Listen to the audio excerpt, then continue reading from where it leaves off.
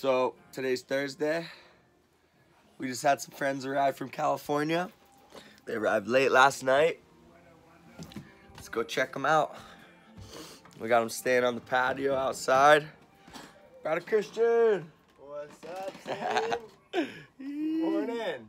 Christian from Plastic Yeah. Tides. Just woke up out here. We're about to go uh, show them around. Beautiful morning. give them a little tour of the the farm, the family farm here at our house, and hopefully hunt down some surf. I know what we got growing on the property for breakfast. I know we got some papayas that are just turning ripe. We got a ton of mangoes coming out right now. But they're not ready yet, so are gonna see what we got here. All right, what do you think? There's a few here we could grab.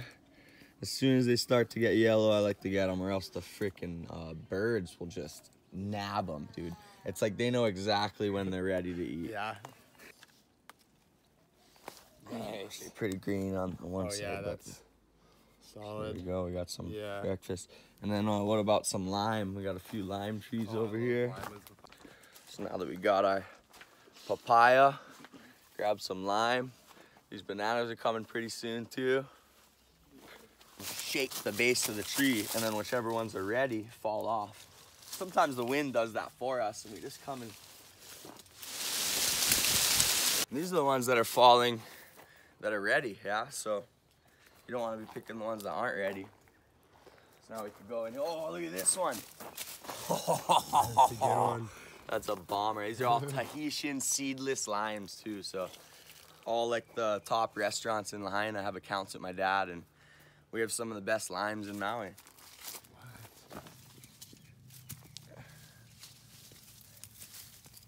These are the Lulu lime tr- chunks right here. Ain't no Lulu lemons, bro. Let's go. Let's go check out the contents of my Lululemon pants right now. Honestly. Load it down. Okay. Christian, you mind if we dump our harvest onto your bed? No, let's do it. Okay, so the new Lululemon and the Lulu Lime edition. So that's a good little morning routine to see what we got growing on the property. And then eat some fresh fruit, whole food right from the land. And make our way out into the day of action. Seedless Tahitian lime. So my favorite thing to do is put a pool of lime in the half of the papaya. So if we like the papaya, if we think it's a good tasting one, we'll keep the seeds, um, take them out of our compost and put them into the back into the farm so we grow more trees. Morning. So what's the plan for today? Surfing!